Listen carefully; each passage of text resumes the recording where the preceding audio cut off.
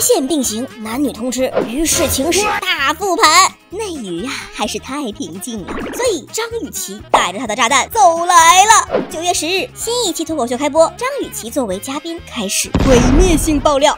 从我有一个朋友开始，大爆特爆朋友处过的劈腿弟弟，信息量惊人。我这个朋友啊，是个山东人，人家处过一弟弟，处的时候可甜蜜了，天天打电话啊，写情诗。过年的时候，这弟弟从很远的地方还跑到人家家里去给人家妈妈拜年。就有一天跟我说，发现这弟弟在外面居然还有一大姐，你说这算什么人呢？啊，恋爱时电话打不断，分手了你啥也不算，马背上劈腿，人家那是敢想敢干，这个人就得趁早让他滚蛋。最后还留了个意味深长的停顿。于是，分手了吗？而且弟弟还有大姐，他那个朋友都还只是二姐。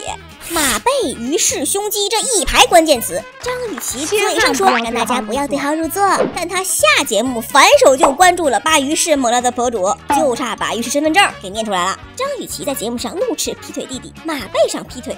巧的是，于是这几天才当上了骑射运动中心副主任。哟，这不专业对口了吗？网友们嘞也没有辜负张雨绮的努力，来了一波马背哥绯闻瓜大洗礼。今天呢，就让我们细细吃来于是和他的哥哥姐。姐们，张雨绮脱口秀爆出大瓜后，于是早年榜一大哥 DISCO 雨也在线吃瓜，这就要从二零一二年说起了。这位哥呢，也用过小雨随心翻作浪的 ID，看似是在开公司，实际呀是给男人拉皮条。早年还叫于直的于是，就频繁的出现在了他的社交账号上。他经常呢一边晒着于是的肌肉照，一边艾特一些老板来参观，甚至艾特的人 ID 里都带有男模的字样。这位宇哥说话嘞也不遮遮掩掩，老板问他。啥时候能把于氏送过去？他就说随时等老板安排，还专门提到这位老板专爱菊花茶。他不仅平时艾特于氏说些恶心的话，还把于氏的大丑的照片当做福利放在社交平台。就连那张放出来就会被屏蔽的酒店背后全裸照，也是这位宇哥贡献的。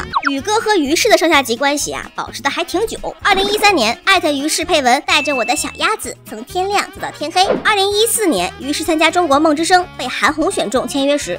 嗯，我想签下你，你愿意吗？愿意，非常愿意。宇哥还为于适被叫做中国都敏俊鸣不平。韩红啊，你的眼光可真毒啊！到了二零一五年，于适的妈妈发文炫耀于适住到人权家里去了，还在评论区因不是一般人能得到的待遇特别骄傲。二零一六年，于是前往韩国当练习生，也不老实，和粉丝私连，说人家叫声诱惑，让人家晒性感照片。反正啊，聊的都是哎船上那个事儿。当时他还是 NCT 的预备役呢，幸好被中韩粉丝联合抵制。后来呢，被 SM 公司退货了。即使回国后，于是呢也没有安分到哪里去。封神让他一夜爆红，也让他的恋情被扒了个底朝天。和二姐张雨绮的恋爱瓜也顺势被翻了出来。早在二零二二年五月份，狗仔就拍到过张雨绮的新恋情。他的新男友为了服务好张雨绮，全程忙前忙后，行李箱、衣服、包包全程一手包办。二十四孝好弟弟兼男友，这个新男友呢，由于太糊，当时还不配在网友那里拥有姓名。张雨绮也出面进行了否认，只是朋友。这事儿呢，最后也就不了了之了。直到二零二三年暑期封神大火，主角于是大受关注，大家这才反应过来，去年的张雨绮的朋友不就是这位马贝哥吗？但很快啊，八月份于是就被爆出现身电影院。还和一女子互动亲密，同为小区，疑似有了新恋情，与张雨绮已分手。而视频中的这位女子呢，我们就暂且称她为大姐。总之，恋情疑云，子弹一直飞到了十二月份。好家伙，于是直接凑齐一把炸弹牌，一周内连爆四个恋情瓜，时间线乱得人头皮发麻。一号嘉宾姐陈芷溪，总裁投资人，还是我的阿勒泰制片人，妥妥一个富婆。被曝狗仔拍到柿子哥曾与其当街热吻，最后花钱保名声。但很快一号嘉宾姐出来辟谣，否认了此事。没关系，还有其他嘉宾姐，同样一直被网传的富婆女友美美，在十二月份的时候就发文说要出来锤人，一周后突然熄了火，锤没放，料还是爆了的，直接承认跟于是谈过，甚至敬业梳理时间线。一六年底开始，一八年六月正式断联，封神训练营期间都还在一起，没做过对不起他的事。于是前女友至此落实一名。除了美美，同一周被爆出来跟于是有纠缠的，还有一名化妆师曹迎新。这位姐一度担任过大量一线影视剧的特效化妆总监，其中就包括封神。这姐呀，跟于适的故事就丰富多了。一八年六月，跟美美断联的于适被网友扒出疑似七月就住进了曹姐的家。于是发布的拍照背景疑似是曹姐的家，还与曹姐撞同款穿同款。网友还根据她的拍照背景墙电话推测了一下他跟化妆师的聚餐时间线。曹姐还在封神里给于适化过妆，发布的动态里呢也能捕捉到男主角的身影。曾经就有狗仔在台综上爆料一位大陆男星跟化妆师潜规则的故事，内容十分劲爆。这个男星可能就厉害了，他找的是我们工作当中都会遇到的人，嗯，他找的是化妆师，他被化妆师请，我我从过去啊，化妆师而已啊，对，扯不扯？像情愿那真的不是像情面，是台湾的吗？大陆的，大陆。这个消息来自一个视频，这事情曾经被公开过，这个女化妆师曾经在大腿上面有一个男星，这个男星的半。半呃，就是一半的脸露现出来，而且声音比对都是对的。这化妆师跟他讲说：“你不是喜欢舔我的脚趾吗？”啊，嗯，咱同样不对号入座哈。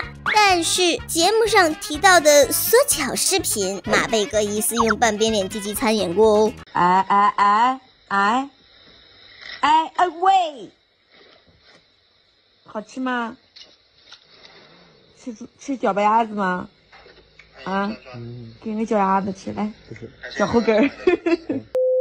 去年绯闻传出去以后啊，姐一直很沉默。但如今张雨绮脱口秀一轰炸，眼看着自己都排到三姐了，人在圈里呢，好歹也是要脸的，于是终于出来回应了：我们在一起没劈过腿，意思是呢，谈过没乱来过。马贝哥又一女友坐实，看来大家呀，真的没冤枉你。但网友也顾不上了，因为大姐登场了。还记得前面提到的那个跟于适同回小区的女子吗？据网友反复对比，女子疑似名叫华珍，背景颇深，跟于适的交集十分密集，时间线上甚至跟张雨绮出现大量重合。虽然是二零二三年八月被狗仔拍到，但于适疑似在二零二零年就认识了华珍，从二零二二年五月被拍与张雨绮同行，被爆出七月就疑似与华珍同染黄毛，同游新疆。两人发布的动态有。许多细节都能对得上。我说于哥呀，内娱时间管理大师非你莫属啊！因为我还不到三十岁，我还没玩够呢。